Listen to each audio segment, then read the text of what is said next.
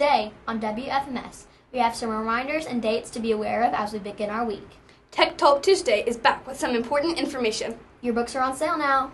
Teens for Christ will be meeting this week. Are you interested in auditioning for the Color Guard? Our Forensics Club will meet tomorrow afternoon. We want to remind you that the board game and chess club will meet tomorrow afternoon. Soccer Team A plays for the championship tomorrow at 6:15. We have a special basketball announcement for you today. The WFMS Admiral Announcement Network starts now.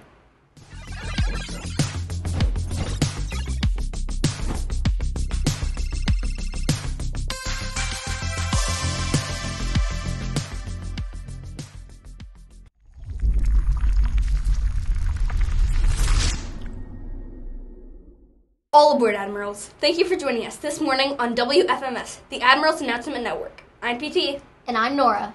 Welcome to your home for news announcements And more. on, du- on WFMS. Now for today's news and announcements.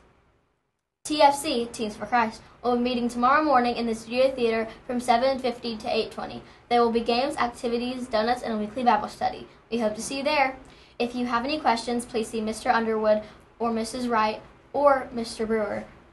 For students interested in debate, acting, or public speaking, we want to remind you that the Forensics Club will meet tomorrow afternoon in Mr. Snow's room, Blue A 144, after school. If you have any additional questions, please see Mr. Snow. Hope to see you tomorrow.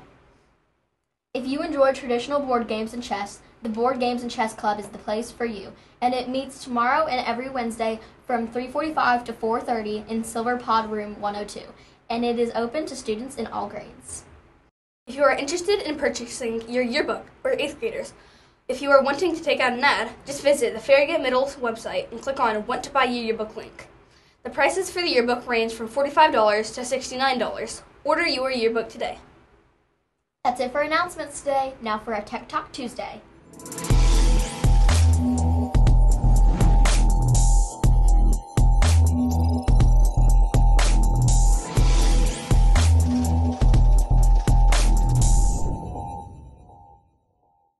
Welcome to Tech Talk Tuesday, where we will discuss and present tech info that impacts teens in various ways. Last week, we introduced the concept of what is a digital citizen and defined what a digital, digital citizen is. So today, we will watch a short video about the basics of how to be a good digital citizen.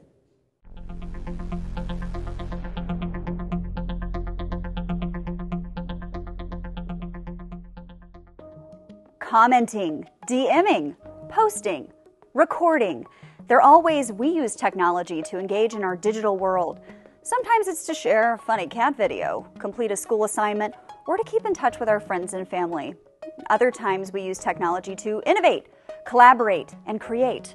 Whatever your purpose, you are a digital citizen. And as a digital citizen, you have the power to utilize technology to make positive change and engage in a community well beyond borders. Digital citizen is more than a title. Like the saying goes, with great power comes great responsibility. A good digital citizen uses technology responsibly and appropriately. Just like being a citizen of your local community or country, there are guidelines and expectations that a digital citizen should live by. You may not realize it, but whenever you use the internet, you leave behind a digital footprint. That means that every time you leave a comment, share a post, send an email or message, use an app, or browse the internet, you're leaving a trail of your online history. This history has the potential to be seen by others, family and peers, teachers, college admission officers, and even future employers. It can also be tracked in an online database. Now, this footprint isn't like one in the sand that quickly gets washed away. A digital footprint follows you for the rest of your life. So consider how you want to represent yourself online. Take a moment to think before you post. Ask yourself is it kind? Will it hurt someone? Are you sharing too much information? Does it follow good etiquette? And would you normally say or share this in person?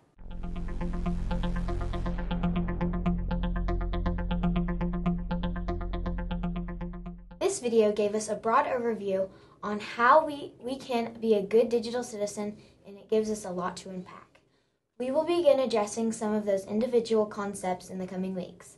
One of, one of the th- things that stood out to me was that was that everything I do online is permanent and will follow me all my life.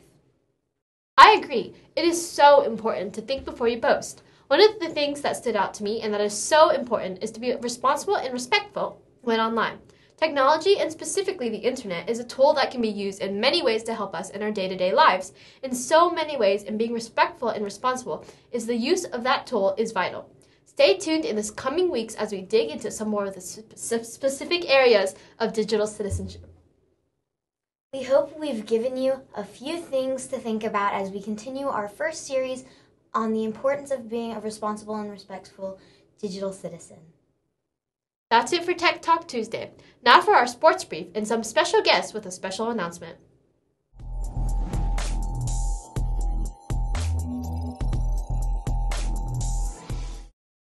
Hi, I'm Blair.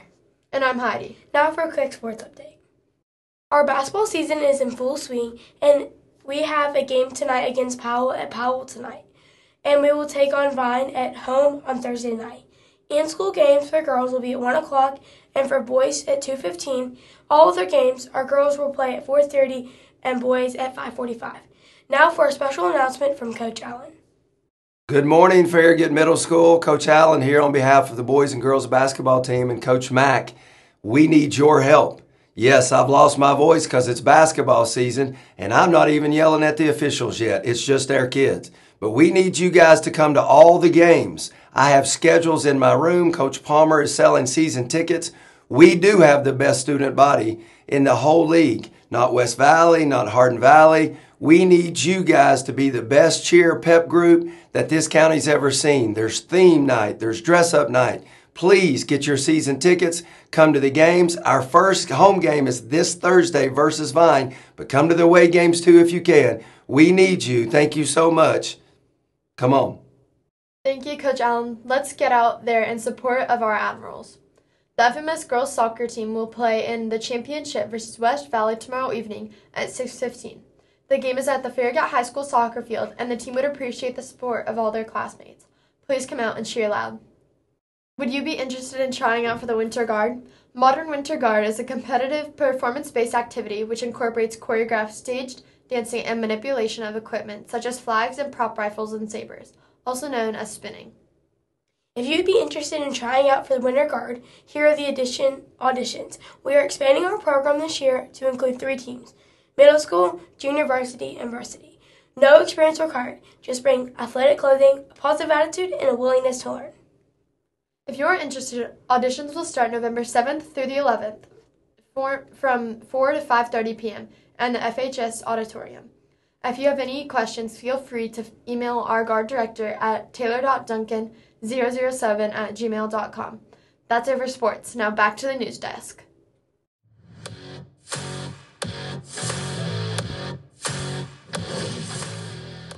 Now for our attendance matters moment.